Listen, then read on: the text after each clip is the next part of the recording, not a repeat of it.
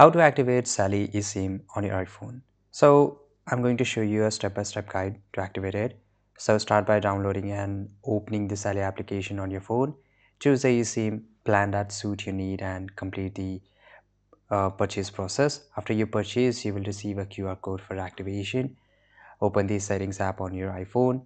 Tap on cellular or mobile data depending on your iPhone model. Look for the option to add cellular plan or set up cellular. If you receive a QR code, select use QR code and scan it. Alternatively, you can enter the details manually by selecting enter details manually if needed.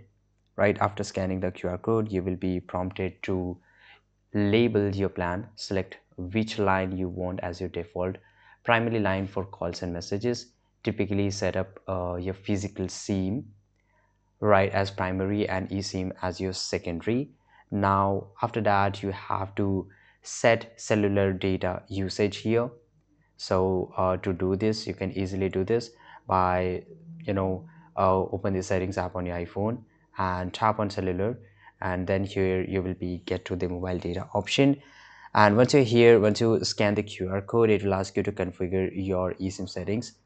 And this means that after scanning the qr code you will be prompted to label your plan, select which line you want as your default line for calls and messages. Right after that, final activation and uh, that's it. So follow any additional prompt to finalize your setup.